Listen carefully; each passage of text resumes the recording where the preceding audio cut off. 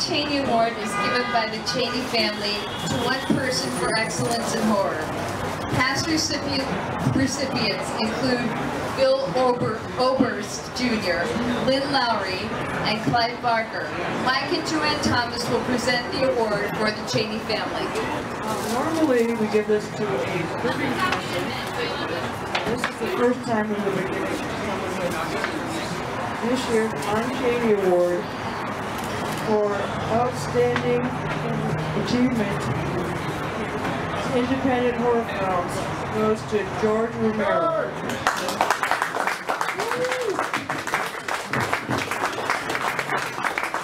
George Romero practically invented the zombie genre. Amen, Amen. Interesting story though is that when he decided to create the zombies, he did not want to call them zombies. He wanted to call them undead flesh eaters. It wasn't until the third movie that he finally gave in and said, okay, we're zombies. Cameron couldn't be here tonight. He's in Kentucky filming. But, uh, he was supposed to come, but uh, an honor to accept for him, for his dad, George Romero. A phenomenal, a phenomenal filmmaker. Like Mike said, the creator of the zombie. He is the master of the zombie film genre.